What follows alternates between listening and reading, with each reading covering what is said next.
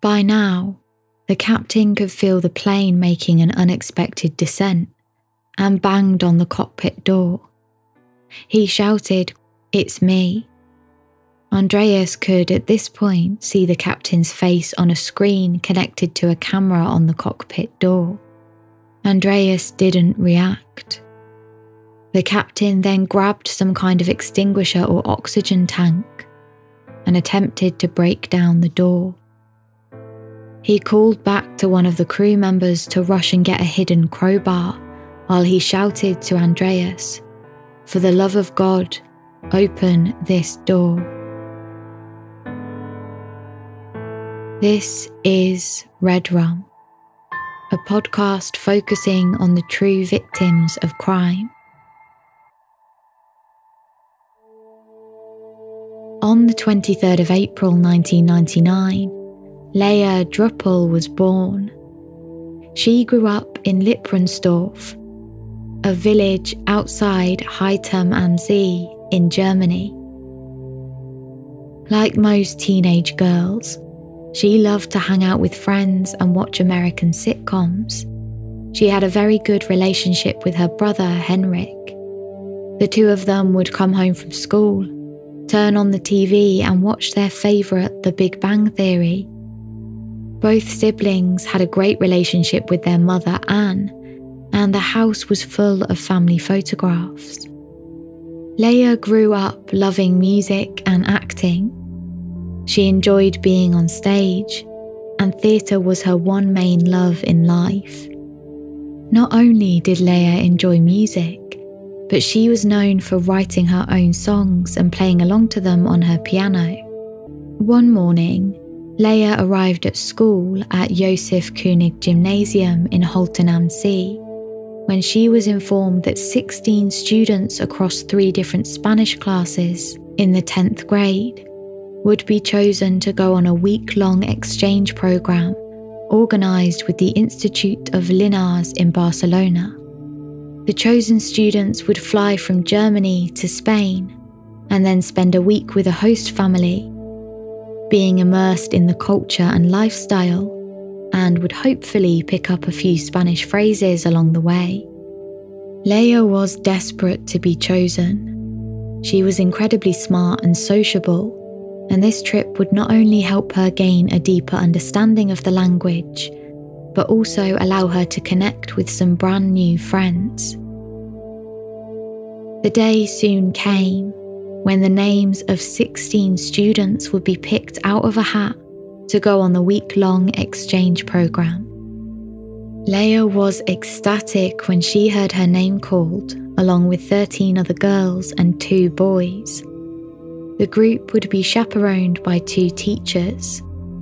On the morning of the 18th of March, Leah finished up at her makeup table and packed up the last of her things to her suitcase and hauled it downstairs. Her excitement levels were quite incredible. She was heading to Barcelona with her best friend and next door neighbour, 15 year old Kaya Vesterman. The pair arrived at the airport and Leah checked she had all of her things. She snapped a photo of her boarding pass and jokingly typed a text to her mum writing of her anxiety for flying on the low budget airline.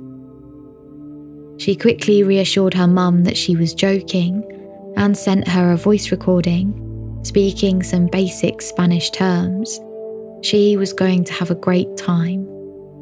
The students soon boarded the plane and set off on their travels. The journey was smooth, and once they'd arrived, high on adrenaline, Rosa Marcia Garcia a professor at IES, arrived to greet them, and soon enough, the teens were sent to meet their host families.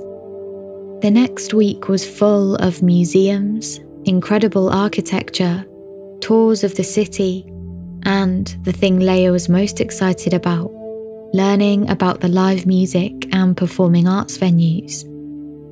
After almost a full week, jam packed with activities and excitement, the 16 students and two teachers arrived at the airport, ready to board their two hour flight home.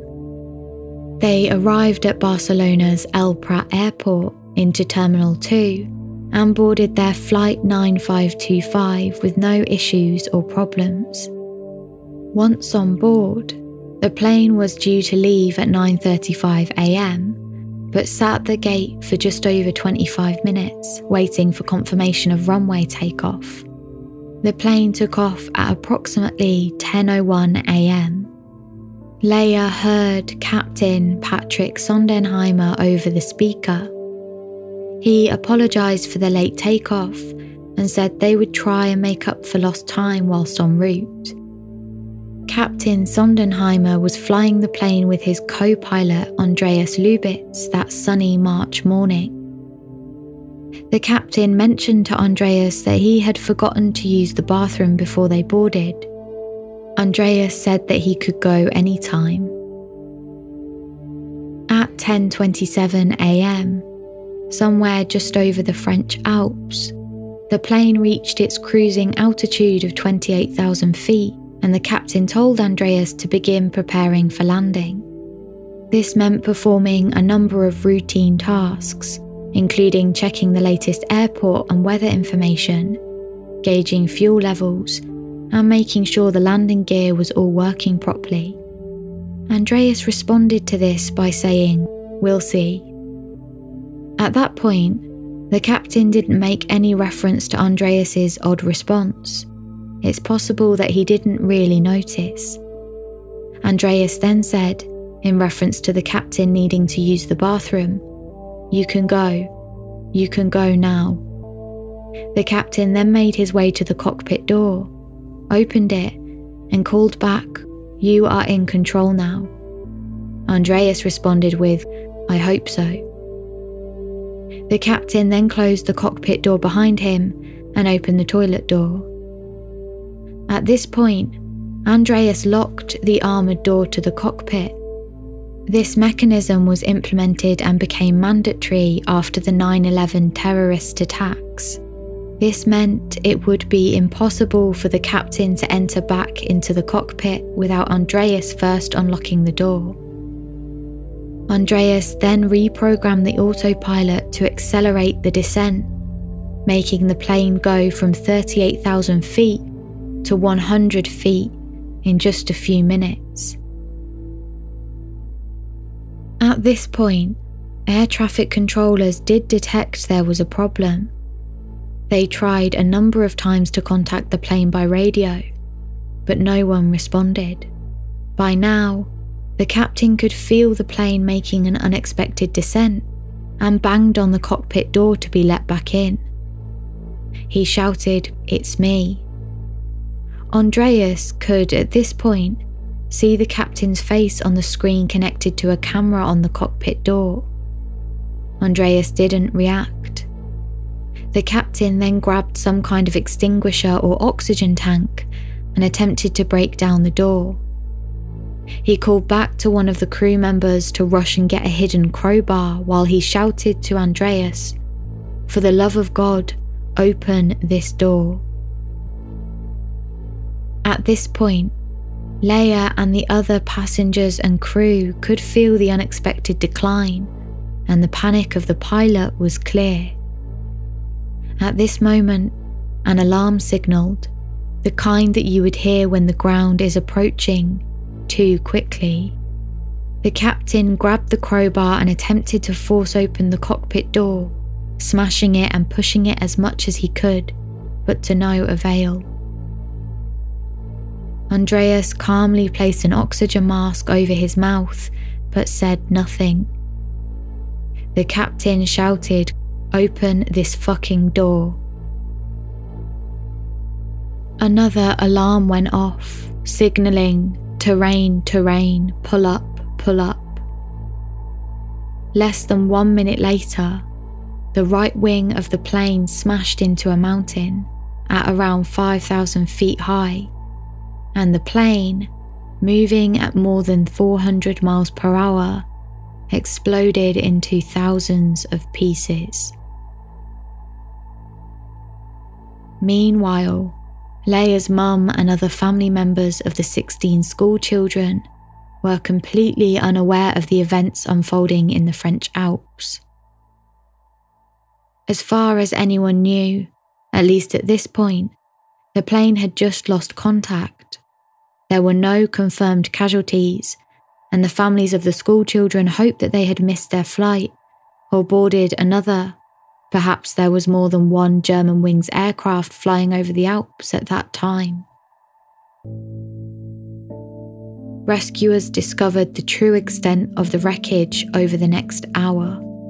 Colonel Jean Paul Bloy, a senior officer who had reached the scene, said, The debris is scattered over a hectare. There are a dozen large pieces of wreckage. The rest is scattered widely. It could take us several days to evacuate all the bodies. All 144 passengers, including the 16 students and two teachers, as well as six crew members, were confirmed to be dead. Leah's brother Henrik was in school at the time of the crash. The school's teachers and students were utterly shocked, and after detailed recordings from the black box were recovered, the world was horrified at what had happened on board Flight 9525. The fact that someone trusted to safely guide members of the public to their chosen destination could intentionally kill 149 people was unbelievable to the family and friends of the victims. To understand more about why and how this disaster happened, officials needed to look into the man behind the name everyone had been speaking about. Who was the real Andreas Lubitz? Some details quickly emerged about the 27 year old co pilot. He was born on December the 18th, 1987. He had a pretty normal childhood. Andreas became a glider pilot, and after leaving school, was one of only 5% of applicants accepted to train at the prestigious Lufthansa Flight Training Pilot School. Whilst there, he had, however, suffered a quote, heavily depressive episode, which caused him to take a break from his flight training for a number of months. His depressive episode was accompanied with suicidal thoughts, and treatment for his symptoms included strong antidepressants. Medical reports state that the shift in mental state came in part from modified living conditions. It was Andreas's first time away from home, and he gained an unhealthy obsession with not failing. He was also described as having the constant ringing of tinnitus, a symptom that is often associated with depression. Eventually, a doctor declared Andreas was completely recovered, and his student pilot's license was restored, along with his fit to fly medical certificate, on condition that he have specific regular examination. Andreas was able to continue flying. It's noted that any further psychiatric treatment for depression would result in his automatic grounding. Andreas was likely aware that his past mental treatment could affect his ability to fly, and whilst completing further training, he lied when filling out a US Federal Aviation Administration document. He did not disclose his conditions or treatment he had previously had and was actually found out. Just four days after Andreas had lied on the form, a German aviation doctor noticed the false statement and reported it. This could have resulted in prison time for perjury and a permanent flying ban. However, Andreas was told to be truthful on his forms and he was allowed to fill them out again. This time he was honest and he was accepted to continue flying. Searches of Andreas's apartment revealed some shocking discoveries. A tablet device showed a history of searches for ways to commit suicide, including producing carbon monoxide, drinking gasoline, which poison kills without pain, and on the 20th of March, just four days before he murdered 149 people, Andreas searched for information about the lock mechanism on the A320 cockpit door. Officers also found a journal entry dated March 22nd, which said Decision Sunday, and scribbled next to it was flight code BCN for Barcelona. Also written were the words Find the inner will to work and continue to live. Deal with stress and sleeplessness. Let myself go. There was a torn up sick note found in the apartment that included the date of the crash. Investigators stated that this supported the assessment that Andreas hid his illnesses from both his employer and his colleagues. Investigators also didn't find any indication of a political or religious motive for the crash, nor did they find a suicide note. Andreas's actual behaviour, at least to the people around him on the days preceding the crash, seemed normal. A pilot he travelled with on the day before noted that he was acting normally, and his girlfriend at the time said that the evening before the flight, the pair had gone grocery shopping and Andreas had seemed fine. The next morning, Andreas had been in the cockpit ready for the outbound flight to Barcelona. He had actually switched the plane's autopilot to the lowest setting of 100 feet before quickly switching it back to normal, before air traffic control had noticed. It's now thought that was a kind of test run for what was about to come on the return journey. Following the tragic events that took place on March the 24th, 2015, the German Aviation Authority implemented a rule that required two people to be in the plane's cockpit at all times. The airline immediately paid families up to 50,000 euros each for funeral and travel expenses, but unfortunately, weren't prepared to pay much more. The deliberate actions and subsequent deaths caused by Andreas mirror a number of events prior to the Germanwings disaster, one of which resulted in the deaths of 33 passengers and crew. On the 29th of November 2013, Flight TM470 left Mozambique's capital Maputo at 11:26 a.m and made the journey to Angolan capital Luanda, due to arrive at 2:10 p.m. The plane didn't make its scheduled landing, and the last contact made from the plane was when it was over northern Namibia. The preliminary investigation report found that the pilot, Captain Herminio dos Santos Fernandes, had a quote, clear intention to crash the plane and that he manually changed the aircraft's autopilot settings. It found that the co pilot left the cockpit, and a little under two minutes later, the captain locked the door. After another minute, the captain initiated descent and manually adjusted the speed. The voice recording received from the black box revealed that there were a number of alarms going off during the descent and loud bangs on the cockpit door presumably from the co pilot who was locked out of the cockpit. At the time, Mozambique Airlines had guidelines in place that required a cabin crew member to be present in the cockpit if the co pilot needed to leave for any reason, but these weren't well known or adhered to. By the following day, the wreckage had been discovered, and over the next few days, patrols worked to retrieve belongings for loved ones and the black box. All 33 passengers and crew were declared dead. Investigation into the captain found that he had experienced life changing events in the run up to the murder suicide. His daughter was in hospital for heart surgery at the time of the crash, and divorce proceedings had been ongoing for over a decade. In November of 2012, his son had died in a suspected suicide. The captain didn't attend the funeral, and in fact, the murder suicide plane crash happened almost exactly one year after his son's suicide. Unfortunately, I couldn't find information on all of the victims of the Germanwings disaster, but of course, we know that there were 16 students and two teachers. A statement uploaded to the school's website said, The news of this terrible plane crash in France has shocked us all.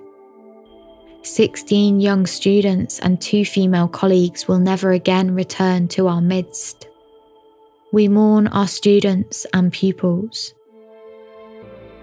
Our deepest sympathies go out to the parents and family and friends. We are all stunned and unspeakably sad. The Guardian released a statement from Robert Tanzil Oliver, the father of an American citizen who was killed in the crash. They reported Oliver said that he urges those who lost a loved one in the crash to not focus on the last 10 minutes of the flight. Quote, Think about the good moments, the wonderful moments. Two other American citizens, Yvonne and Emily Selke, were killed. A spokesperson from Emily's sorority house said, quote, As a person and friend, Emily always put others before herself and cared deeply for all those in her life. Marina Bandre Lopez Belio and her baby son, Julian Prax Bandres, were killed. Marina was living in Manchester in the UK. Her husband said, quote, We have been living in Manchester for seven years. Marina was an editor and colorist, and we were both working in post production for film and video. Marina was visiting her family in Spain for her uncle's funeral. She bought the tickets at the last moment and decided to return to Manchester quickly, as she wanted to return to her daily routine as quickly as possible. Leia's mum has spent the last few years working to continue Leia's legacy as a hard-working, extremely gifted, musically talented young woman this is taken directly from the Leia Druppel Theatre website. The Leia Druppel Theatre is supposed to be a living memory of Leia, a theatre for children and young people, and a meeting place for music and theatre enthusiasts. In projects, courses, and performances, young people are to be taught about music and stage play under experienced and creative guidance discovering your own strengths, gaining self confidence, and developing fun in creative activities are the goals of our theatrical work. There is a video on YouTube. I don't speak a word of German, but the video is full of passionate, loving individuals who are talking to Leia's legacy. The most moving moment, I think, is when Leia's mum gets up on stage she is clearly so, so proud of this incredible theatre, opened in honour of her daughter, and all the people who have turned up to remember and appreciate Leia, and all of the students. A few students sing a song in English about missing Leia, and that in itself is heartbreaking and full of feeling and love.